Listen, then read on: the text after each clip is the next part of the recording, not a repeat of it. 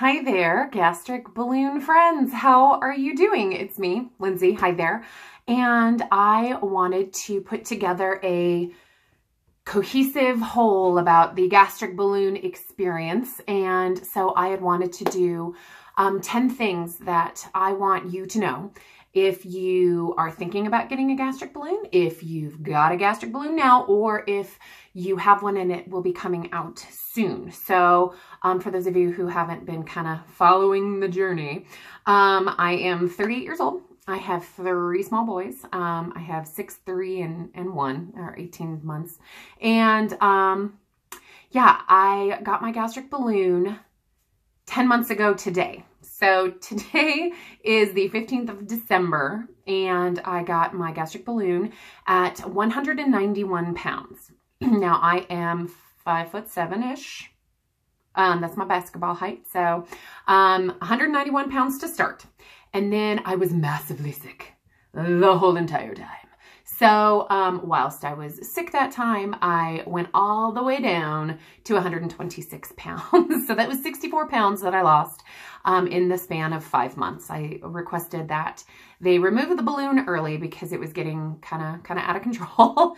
and um, since then, in the five months that it has been gone, I actually have put some weight back on, um, obviously, because, well, gee, uh, I can eat now. And um, so I've put 18 pounds back on and I, and I generally am right at around that 145-ish, um, which is where I find that I am the most comfortable, if you will. So, um, so yeah, I had wanted to give you the 10 things that I wish I had known that I want you to know. So number one, getting, having all of this gastric balloon stuff it's not easy. You may feel like you're taking like the easy way out or people might accuse you of, of, you know, taking it easy there. There is nothing easy about having a gastric balloon. You might, like me, be massively sick the entire time. And, um, and that sucks. Um, also, uh, financially, it's, it's not easy. A lot of the questions that I get, um, to my channel is how much did you pay for your gastric balloon? I am I'm here in the United States and um, here's another hard thing. It's not covered by insurance, at least here in the States it's not. I'm not sure if elsewhere it would be, um, not like a gastric bypass or a sleeve. Um, and here in this area, it costs between 5,000 to $8,000. And I came right smack dab in the middle of that. So, um, so yeah, it's not easy having a gastric balloon. So you're not cheating. I promise you're not because it's not easy. Any any sort of weight loss, any sort of like lifestyle change, it's not easy. So anybody who thinks that or says that to you, tell them to stuff it because they don't know what they're talking about. So that's number one. So number two, who can get a gastric balloon? Now, there are three different types that at least I know of. There is the Orbera gastric balloon, which is what I got. There is the Obalon gastric balloon series, which is like this giant horse pill that you swallow. Um, that was just approved here in the States like a year ago. So I didn't, I, that was not an option really for me. And then the reshape balloon, which is a three-step series. Supposedly it's supposed to be easier on the system. I don't know. But the surgeon that I chose did Orbera. So that's what I had. And um, so here's the thing about a gastric balloon. If you want a gastric balloon and you have the money, chances are you too can have a gastric balloon. It's like Oprah, you get a gastric balloon and you get a gastric balloon. I don't know if that's good, bad, or indifferent. As long as your body mass index or BMI is around that 30 mark, um, they will give you a balloon. Um, so, so yeah, they'll give it to you if you want it, I think, for the most part. So, um, side effects of the gastric balloon. Now here, now here's the, the body of what you're going to be living with when you have a gastric balloon. At least this was in, in, in my experience. So the top three side effects are these. Acid, gas, losing your hair. So, um, so yes, acid. The worst heartburn of my life. I gave birth to three ginormous ginormous children and the the acid reflux that I experienced during my gastric balloon placement was hideous, horrible. blah. And I'll tell you what to do about that here in a second. So that was number one. That acid is no lie. Um, number two, gas. There is nothing nastier than a gastric balloon burp. They are literally, they are toxic, noxious, weaponized burps. They are so awful and the whole world will know if you have to burp because it is that bad. Like, there, it's super gross. That's just, you know, it's just bad. So, um, so that's number two. Number three, you might like me, go bald. Um, when I started this, I, I, I've never had like awesome, like sweet hair. I just never have. But when I started, I had hair down, I don't know, past my shoulders. I don't know. Um, I don't really care about hair because mine is not that great. So, and not only that, I've been bleaching it blonde since I was about 15 years old. And this is my natural hair color. And it was a surprise to me. But you can see here, like all of these little tiny baby hairs that are coming back in. Took five months to get those bad boys in. But, but yeah, so um, I did have to chop off my hair because I had literally bald spots. You could see through my hair in certain spots. It was, it was hot. I was good looking as a bald lady. So, uh, not really, but, um, so yeah, what we can do about those side effects. So that's number four. So here are my tips for you with those side effects. Number one, in that acid, you need to find a daily acid reducer, whether it is Pepcid or Zantac or something like that, that you take every single day. And then you will also, please, please get these things, the Tums, the Gas X, the chewable little doodads that you can, you know, take to, to kind of ramp that acid down. And it also helps with the burps. Um, nothing will save you from burps, just so you know. I mean, there's just not a whole hell of a lot you can do about it, but there it is. Um, so yeah, those, those burps will kind of screw you. But here's the other thing. Once you figure out what works for you, put it in your purse. Put it in your car, put it in your briefcase, put it on your person and have it at all times. Have that and have small snacks that you can actually eat. Um, and I will go over what to eat here in just a few minutes. But, um, so the hair loss or if you, if your nail, I have this like I have hangy skin now. So fly. Anyway, um, there's not a whole lot you can do. When you lose a whole lot of weight real fast, a lot of times you just lose your hair. It's just, it's just something that happens. And the only thing that I can recommend to you is take vitamins. Now, um, swallowing a horse pill, I'm sorry, you're not going to be able to do that it's not going to happen for you probably. It, it, couldn't, there was no way. So they have these little chewable gummy like biotin supplements. They're delicious. Like a snack. and then I also took a multivitamin by Alive, I think. And it's, they're like a little treat. So my husband and I every day we're like, ooh, did you take your treats today? And it's like, ooh, yay. It's like a little snack. So, um, so yeah, that is, that is my recommendations about what to do about, you know, that those, those side effects. So that leads us into your diet. Now, I am the worst person to ask what to eat whilst the balloon is in because I sucked at food. I just did. Honestly, I ate what it was that I could. Does that make sense grammatically? I don't think so. But here's here it is. I should have been eating skinless chicken breasts. I should have been eating I don't know, an avocado. Uh, so the problem with when you have a gastric balloon, which is in my case, it was like the size of a grapefruit in your stomach.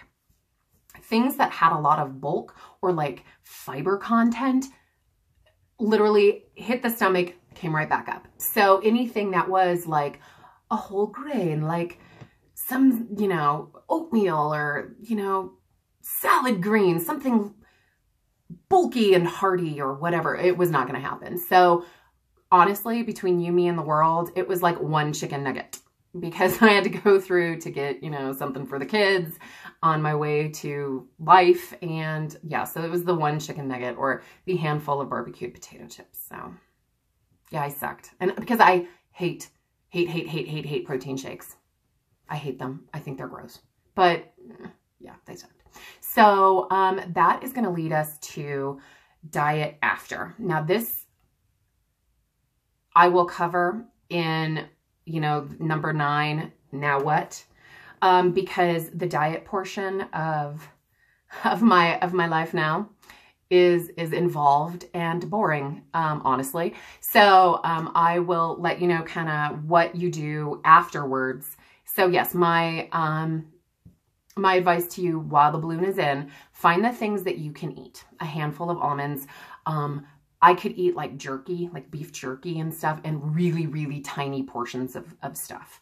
Um, because, yeah, I just couldn't eat a lot. Which, which, you know, hey, that's what it was for, the balloon. So, okay. Now, exercise. I get a lot of questions about what did I do or what do I do for exercise. While the balloon was in, I wasn't doing squat. I was doing squadoobie. Zero. Because um, there was no way that I had the extra energy to run after the kids and, you know, make life happen for this household and and go to the gym or work out. I just I didn't have the energy to do it. And um yeah, uh but I will say once the balloon came out, or towards the end of the balloon thing. And once the balloon came out, I found my, my thing, the one thing that you might find that you don't hate. My thing is Pure Barre, B-A-R-R-E. Um, I go at six in the morning, which really sucks. I wake up at five to get there. But it's the one thing that I, I can deal with, that I can do. Um, so I started, so I started like walking and stuff like that once my energy levels got a little bit better when the balloon was in. Then I started attending Pure Barre classes once I, you know, right towards the end of, of my gastric balloon placement. And let me tell you something. Working out when you are 40, 50, 60 pounds lighter is so much easier. It is so much easier to do anything when you're not carrying around like a six-year-old on your back all the time. So, um, so yeah, it was, it was amazing how much easier and how much more enjoyable working out and exercising is when you're not like out of breath going up the stairs. So that's, that's kind of nice. Um, so this is going to lead me into number seven. And this in my opinion, is the most important thing that I can impart to anybody about losing weight. You need to check in with your brain because chances are, unless you have a physical reason, you know, your thyroid is off, you've got, you know, some, some physical um, malady, if you will, that is causing you to either gain weight or be unable to lose weight, chances are you got a demon in your brain. Um, and this, I, I say that lightly, but it's true. So you need to check in with your mental health. You just do. And it's, God, it's uncomfortable and it sucks. But you have to do it because if you do not address the reasons behind your weight gain or the reason that you are sabotaging yourself, if you do not get in touch with that, nothing will work. So you need to get real with yourself and figure it out. And I'm going to tell you something that I told my husband and he thought it was super sad. And I guess, I don't know, maybe it is sad, but um, I told my sisters and I thought they would agree with me and, and they thought it was sad too. But he, maybe you can, maybe you can feel me here. When I had my gastric balloon, and I did not realize this until it was out, I had never, ever in my life felt so free from, from my, my deep-seated long-term issues. Um, you know, I wasn't like a fat kid or anything, but I felt like I was fat. Like from the time I was, you know, like five, which is pathetically sad. Um, but when I physically could not eat and I knew that weight was going to come off, I had, it was, it was a freedom and a lightness that I can barely explain. And there are times when I'm like, I, not even times, all the time, I'm like, God, I wish I could have that balloon back, even though I was sick as a dog and I, you know, and I looked, I looked terrible at the end, like bald spots back here and you could see like all the ribs in here. Um, but yeah, I, so I had so much more space in my brain where I wasn't worrying about what I was eating. Was I moving enough? Yada, yada, yada, yada. And it really it's really sad, really, I guess, you know, that I needed to get real with the reasons behind my self-sabotage or, you know, my, you know, my issues. Because if you don't, if you don't confront it, it's going to bite you in the ass. It's going to come back. It's going to bite you in the butt.